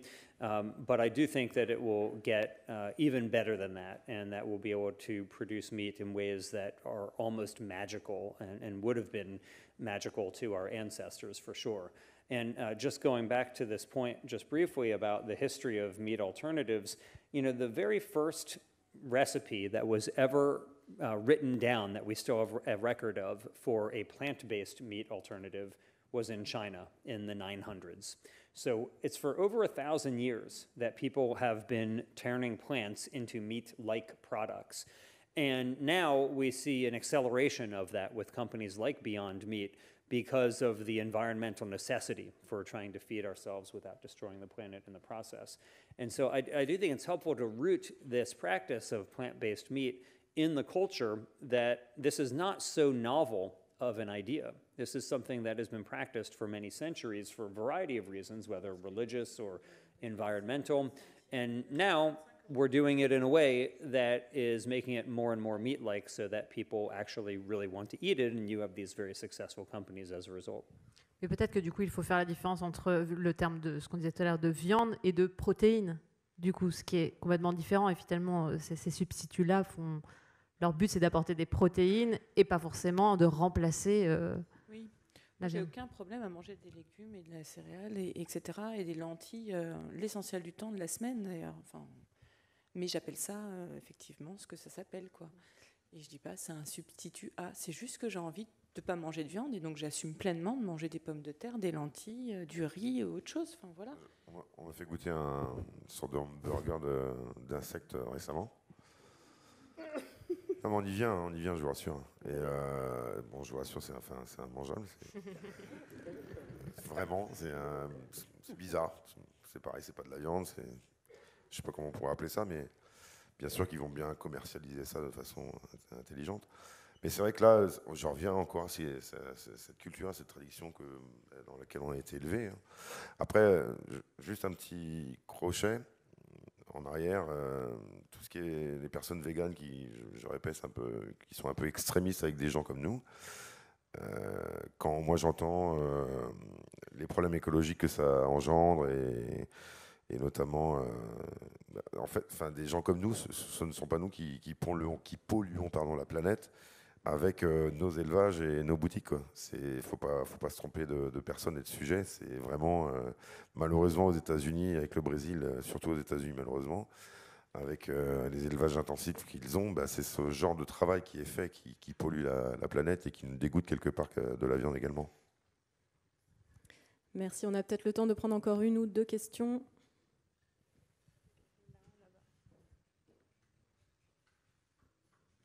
Devant.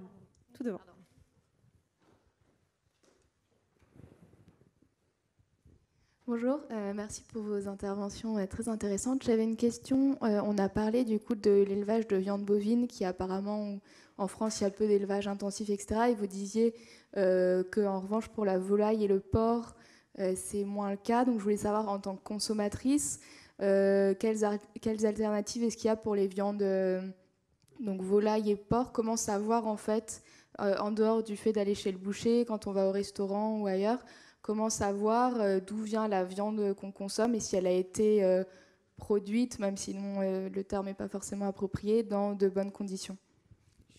Allez-y. Bah, je vais me permettre une chose qui est très simple. Quand vous allez dans un restaurant et vous avez un filet de bar à, à 25 euros dans votre assiette, déjà, c'est pas possible. Donc, il faut être clair avec ce, genre de choses quand vous allez dans un restaurant où vous avez une côte de bœuf pour deux à 50, 60 euros, limite, c'est pas possible pour moi non plus, notamment avec les, impératifs économiques d'un restaurant. Donc automatiquement, on attaque le prix, le produit au prix de, revient et euh, vous achetez, euh, quand vous payez ces prix-là, vous achetez automatiquement quelque chose qui n'est pas euh, issu d'une façon de bien faire les choses. J'essaie d'arrondir les angles, mais faut pas se tromper non plus. Après, vous, en tant que consommatrice, vous voulez un bon poulet, un bon lapin, eh ben, vous allez sur un marché en campagne, hein, vous prenez euh, le train, la voiture, ce que vous voulez, vous allez à n'importe quel euh, marché euh, dans, un, dans, patelin, même dans, à Le Mans ou des choses comme ça à côté qui sont pas très loin en TGV. Et je vous promets que vous allez avoir des volailles de qualité, des, lapins de qualité, mais sur tout le marché, parce que vous avez des petits éleveurs. peut-être à quel label on peut se fier aussi? Pour l'instant, en, viande industrielle, poulet, cochon, lapin, c'est très très compliqué. Il y a tant d'avoir des travaux qui se font avec le CIWF par exemple pour euh, des volailles, des lapins et des, et des, porcs, mais euh, c'est assez compliqué. Et effectivement, bah, quand vous allez au restaurant, déjà posez la question de savoir ce que vous mangez, d'où ça vient, si c'est français, comment ça a été élevé, etc. Commencez à être exigeant, parce que quand vous allez commander un verre de vin, vous allez demander un château Pétrus, un Bourgogne, un Pommard, et ou je sais pas quoi. Bref, on va vous vendre un vin ce que je veux dire, on va, on va pas vous dire, oh bah c'est un vin français. Hein. on vous dit c'est quel type de vin et on vous le vend avec le prix qui va avec. On vous dit pas juste, oh bah c'est juste un vin français. Donc exigez de savoir d'où ça vient, comment ça a été élevé, etc. Parce qu'effectivement, souvent dans les restos, ça vient de loin. Euh, c'est pas très cher à la carte pour que ce soit accessible pour vous, même si ça peut paraître très cher quand même pour beaucoup euh, déjà ce prix-là. Euh, mais ça veut surtout dire que ça a été acheté et qu'au-delà, enfin les premiers maillons qui sont les producteurs, alors si ce n'est pas des producteurs français, c'est pareil de l'autre côté de la planète, ils n'ont pas été rémunérés pour leur travail. C'est comme si vous, on vous donnait une fiche de paye avec zéro. Quoi. Avec moins, enfin 50% de moins. Pour répondre et pour finir aussi, c'est que tu, parles pas comment je pourrais exprimer ça, c'est vraiment le produit, le produit en lui-même. On ne peut pas, malheureusement, ça reste un problème d'argent. Euh, pourquoi il y a trois étoiles Michelin avec, euh, bon, il y a du personnel, tout ça, c'est sûr, mais les produits qu'ils font, ils sont exceptionnels.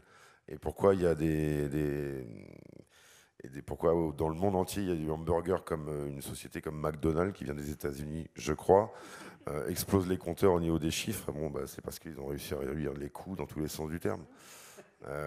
Quand vous allez, alors c'est là que j'y viens aussi, les lobbies, on a des lois maintenant qui obligent tous les restaurateurs à montrer d'où vient la viande. vous allez, c'est le carnaval quand vous allez dans certains restaurants. Allemagne, Pologne, euh, France, euh, Angleterre, machin. Bah ouais, c'est bien. Mais ils sont dans la loi, c'est le principal. Bruno Loriot, vous vouliez réagir?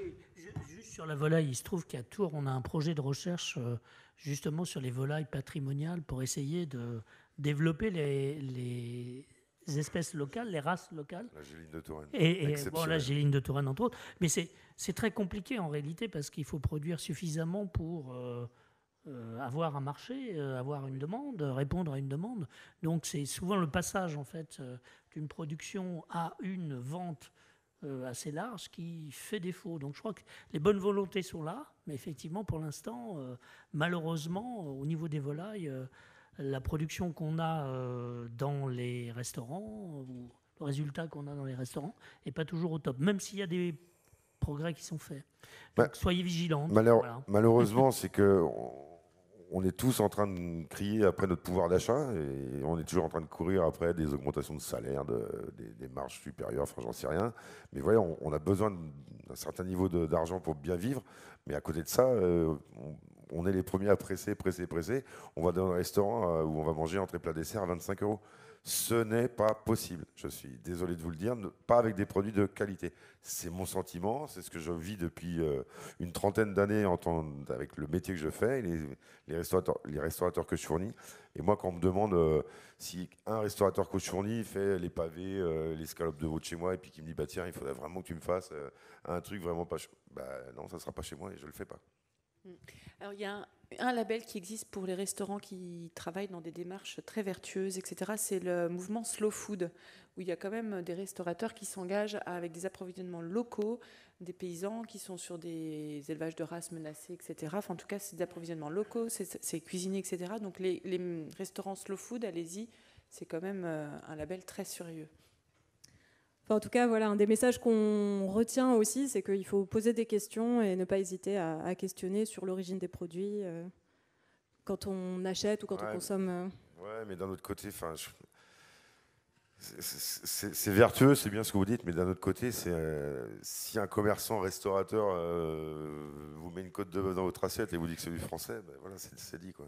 Je sais pas comment. vous voyez, c'est être vraiment honnête de la tête aux pieds, bah, c'est un coup. Je suis désolé, mais c'est comme ça. Merci beaucoup. Merci à vous quatre. Il est déjà l'heure. Une autre conférence va nous suivre.